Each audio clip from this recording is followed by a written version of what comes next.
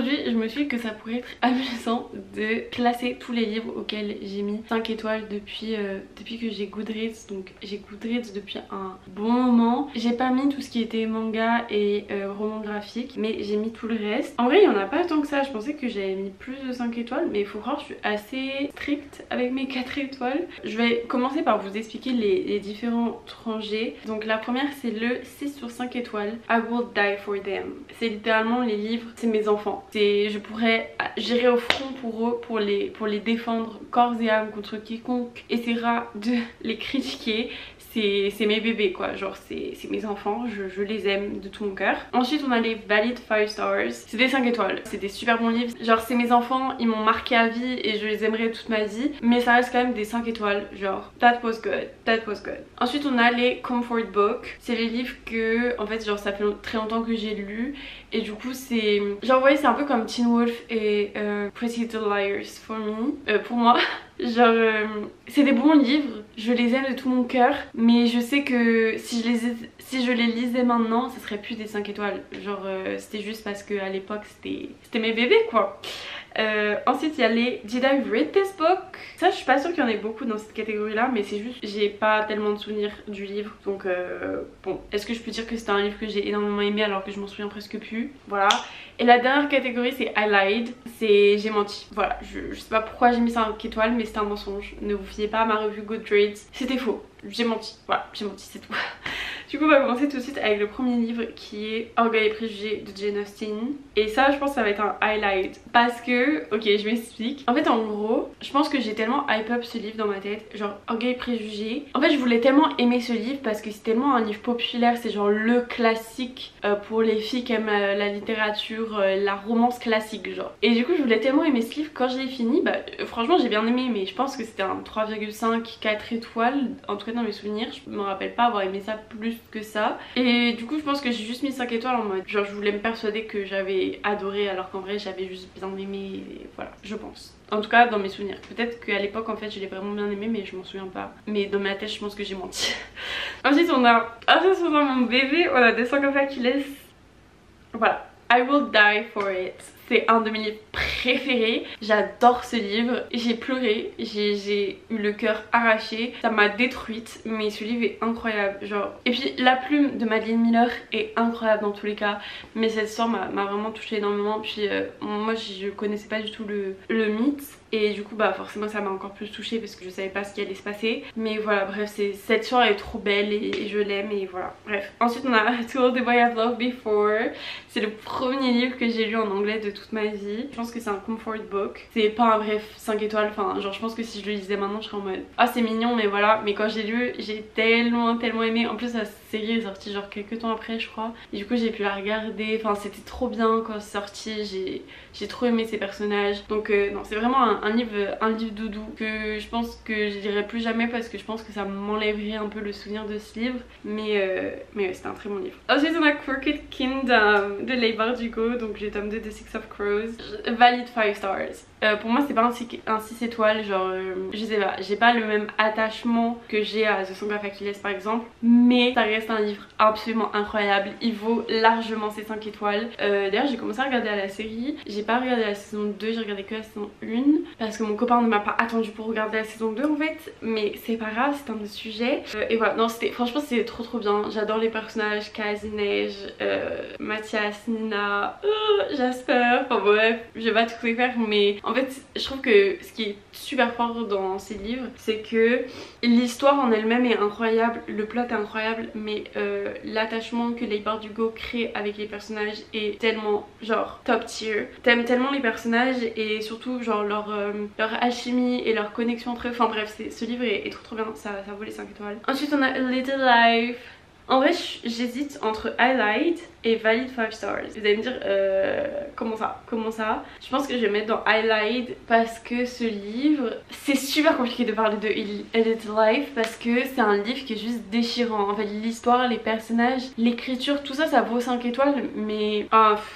Ok non, je vais mettre en valide 5 stars. C'est en fait c'est un livre qui est je suis désolée si vous entendez mon, ordinateur faire du bruit, il, est juste... Euh, il, a du mal, faut, pas lui en vouloir au pauvre, euh, j'espère que ce sera pas trop dérangeant, mais je peux pas faire autrement, genre... voilà, pauvre bébé, bref. En fait les personnages sont incroyables, tu t'attaches tellement à eux, c'est tellement dur à lire, c'est tellement profond, c'est tellement... Little Life c'est une expérience, c'est... voilà. J'ai hésité à le mettre dans Highlight parce que c'est tellement genre... Enfin en fait tous ceux qui ont lu Little Life je pense que vous comprendre ce, ce truc entre eux. Ce livre est incroyable mais en même temps genre it's just pain. Pain on paper. C'est de la douleur sur du papier genre. C'est... Mais en même temps c'est beau. Enfin bref, A Little Life. I Will Give You The Sun de Jenty Nelson je crois. Euh, ah je sais pas où le mettre. En fait c'est compliqué parce que j'ai pas énormément de souvenirs de ce livre mais je me souviens que je l'avais tellement aimé quand je l'ai lu. J'ai envie de mettre Valid 5 Stars parce que dans mes souvenirs je l'avais énormément aimé mais je m'en souviens pas assez pour euh, vraiment vous en dire plus. Ça fait longtemps que j'aimerais relire ce livre donc euh, peut-être que je le lirai mais en voyez c'est comme tous les livres que j'ai énormément aimé il y a genre 3, 4, 5 ans en arrière. J'ai trop peur de les relire et que ce soit plus comme avant, vous voyez. Et du coup, bah, c'est pour ça que je les relis pas. Parce que... Ensuite, on a Nous les menteurs de Cart Je pense que je vais le mettre en comfort book. Euh, dans le sens où je pense que si je le lisais maintenant, j'aimerais pas tant ça. Mais au moment où j'ai lu euh, c'était la première fois que je lisais un livre un peu euh, de ce type avec un petit euh, mystery où t'es étonné à la fin et du coup le plot twist m'a forcément étonné parce que c'était la première fois de ma vie que je lisais ça. Je pense que j'aurais moins cet avis là si je le lisais maintenant mais à l'époque j'ai beaucoup aimé. Donc voilà. Ensuite on a Tous nos jours parfaits. It's a six stars. I will die for it. J'ai pu autant cet amour pour le livre. Et je crois que j'ai lu 3 ou 4 fois pour vous dire à quel point j'ai lu ce livre. Enfin attendez, je, vais vous chercher parce qu'il mérite son, moment. J'ai lu le livre 4 fois. Je l'ai lu en 2017, 2018, 2019, 2020. Je le lisais tous les ans. Il y a un incalculable d'annotations. Genre je vous jure, il y a tout qui est annoté. Il y a ce livre renferme tellement de... Genre ce livre pourrait être un journal intime de mes années 2017 à 2020. Genre vraiment c'est impressionnant. Encore une fois, genre j'ai voulu relire ce livre. J'ai voulu l'acheter en anglais pour le relire en anglais. Mais j'ai trop peur que genre voyez ce soit la fois de trop parce que les 4 fois où j'ai lu les 4 fois j'ai chialé les 4 fois c'était horrible mais j'ai peur que genre là si je le lisais ça serait la fois de trop où j'aurais genre dépassé ce livre et où je l'aimerais plus parce que j'ai lu trop d'autres choses depuis et j'ai trop euh, maturé ça se dit pas, genre euh, j'ai trop grandi en fait. Je sais pas pourquoi j'ai écrit dans le livre achète enveloppe bourse. The fuck? Pourquoi t'écris ça à la fin de ton livre à l'envers? C'est trop bizarre. Bref, euh, même si comme j'ai dit, je suis pas sûre que si je le relisais, ça serait le même attache que, que là j'ai pour le livre. Ça n'empêche que ce livre-là restera toujours un livre super important dans mon cœur. Enfin, genre, je crois qu'il n'y a pas de livre que j'ai lu autant de. J'ai lu 4 fois ce livre. Genre, des fois, il y avait moins d'un an entre mes relectures. Enfin, bref, voilà, bref, il est très cher à mon cœur, donc forcément, ça c'est toi. Ensuite, j'en ai Une vraie sous la cendre. C'est dur. Je pense que pour le premier tome, je vais le mettre dans 6 étoiles parce que Une vraie 60, c'est... Je l'ai lu, à... lu deux fois. Ah, je sais pas comment vous dire, c'était tellement une révolution quand j'ai lu ce livre, c'était incroyable, j'ai adoré ce livre. Euh, je vais faire tout de suite, il y a le, tome 2. Le tome 2, par contre, je vais le mettre en comfort book parce que je crois que le tome 2 était moins bien que le tome 1 dans mes souvenirs. Mais ça reste, ça reste un livre que, j'adore, juste... Euh, c'est pas 6 étoiles, mais c'est un livre, un livre doudou. Et j'ai aussi le tome 4 le dernier tome que pour le coup je vais mettre dans highlight parce que le tome 4 je l'ai lu beaucoup plus récemment. Et je lui ai mis 5 étoiles parce que euh, parce que c'était une vraie soixante et que j'ai un attache, enfin c'était une de mes sagas préférées pendant très très très longtemps. Mais en vrai de vrai je suis pas sûre que ça va être 5 étoiles enfin au moment où j'ai relu le livre mais c'est un de mes livres doudou donc euh, il gardera ses 5 étoiles et, je l'aime. Ensuite on a The Wicked King qui est le tome 2 de The Crow Prince. C'est une saga que je veux relire d'ailleurs. Je vais le mettre dans un valide 5 stars c'est c'était trop bien. J'adore cette saga. The Crow Prince c'est vraiment une de mes sagas préférées. J'ai trop trop hâte de la relire. Voilà, bref, euh, si vous n'avez pas lu The Crow Prince, lisez-le parce que c'est incroyable. Ensuite, on a Nevermore. Je vais mettre en Comfort Book. Honnêtement, ça vaut ses 5 étoiles. C'est vraiment une saga qui est super bien. C'est une saga jeunesse, donc prenez ça en compte. Genre ouais, c'est vraiment doudou, genre c'est juste doudou. Ça, ça vaut ses 5 étoiles mais c'est plus dans le sens où c'est du réconfort, c'est le même type de 5 étoiles que les autres. Ensuite, Tunnel of Bones je crois, de V. Schwab, donc c'est le tome 2 de City of Ghost. Je vais le mettre aussi dans Comfort Book, c'est des livres que j'avais adoré, c'est avec une petite fille qui voit des fantômes et son meilleur ami c'est un fantôme et ses parents c'est des chasseurs de fantômes, enfin c'est trop trop bien, il lui arrive plein d'aventures et tout. Il y a 3 tomes, c'est très court mais l'ambiance et tout c'est incroyable donc euh, vraiment genre c'est des livres doudou. Ensuite on a euh, les collisions, alors je sais plus du tout c'est qui l'auteur mais c'est une réécriture des liaisons dangereuses, Valid 5 Stars. Euh, ça fait très très longtemps que j'ai lu donc je pourrais pas vous en dire énormément mais dans mes souvenirs c'était vraiment vraiment bien. Il faut que je bois de l'eau parce que là je, ma gorge est en train de mourir. Bref euh, voilà mais enfin c'est un peu compliqué de juger ce genre de livres parce que c'est des livres que j'ai lus,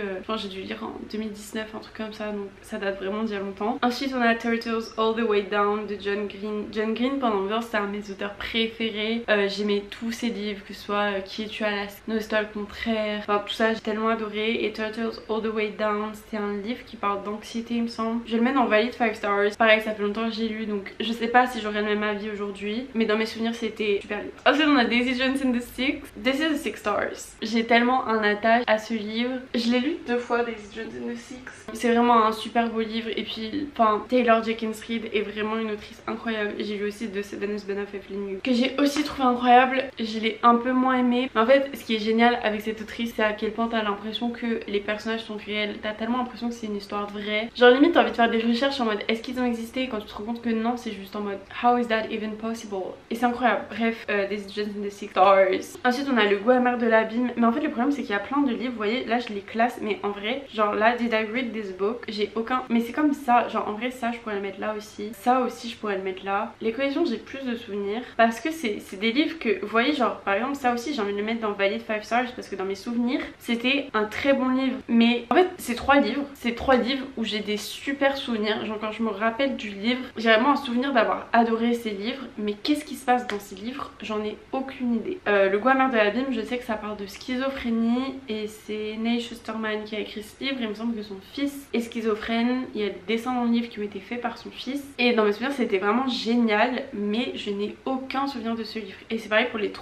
Donc les trois, je vais les mettre dans Did I Read This Book Même si j'ai des... En fait, je sais quand j'ai lu, j'ai adoré. Mais qu'est-ce qui se passe dans le livre Je pourrais pas vous dire. Je pourrais pas vous dire. Bref, ensuite on a le dernier magicien. Ça, je sais pas. Franchement, did I read this book? Et pourtant, je sais que j'ai aimé ce livre quand je l'ai lu. Euh, j'ai adoré ce livre, mais pareil, j'ai pratiquement pas souvenir. Je sais que c'est un, livre avec du où il remontait dans le temps et elle avait des quêtes à faire et tout. du coup, genre des fois, elle allait dans les années genre 1800, elle allait dans des balles et tout, c'était trop bien.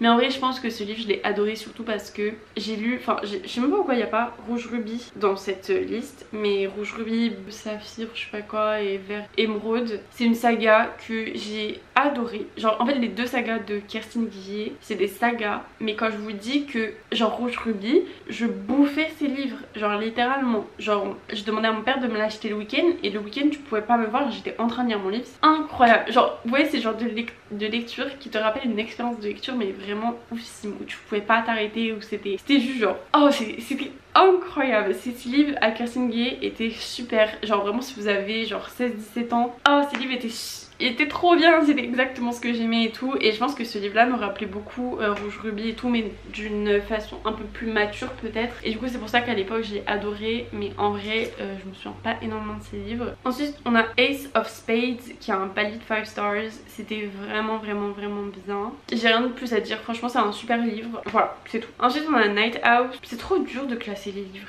Je vais le mettre dans Valid 5 Stars. J'ai adoré ce livre, c'était trop bien, c'était incroyable. Ensuite on a The End on the Hall et on a The Box in the Wood. Les deux je vais les mettre dans Comfort Book parce qu'en vrai je les mettrai pas plus haut mais c'est quand même des livres que j'ai beaucoup aimé. Ah ensuite on a le tome 2 du Dernier Magicien, pour le coup je pense que j'ai menti, c'était pas si bien que ça.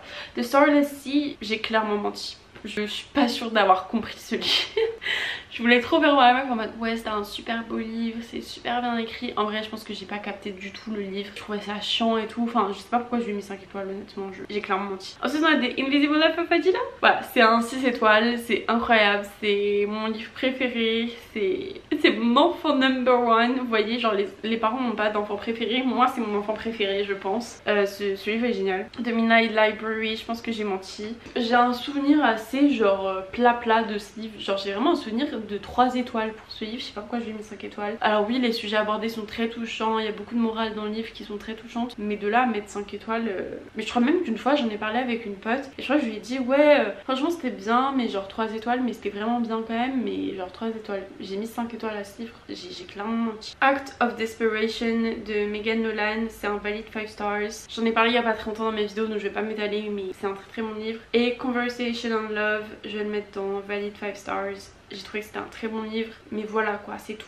Du coup voilà pour mon classement. N'hésitez pas me dire ce que vous en pensez honnêtement les, livres qui sont dans Did I Read This Book c'est des livres que je pourrais mettre dans Comfort Book genre euh, il y a deux livres dans Comfort Book où en vrai je m'en souviens pas trop on va dire que ces deux catégories se mélangent un petit peu. Mais euh, sinon voilà pour mon classement. Euh, je pense que je suis plutôt satisfaite. Je vois que j'ai quand même un petit peu menti mais pas trop donc ça va. On a mes, mes, bébés là-haut là, je, les vois, je les aime. Mais en vrai une vraie 60 je suis même plus sûre qu'ils soient là. Genre je me demande si c'est pas au fond un, comfort book maintenant.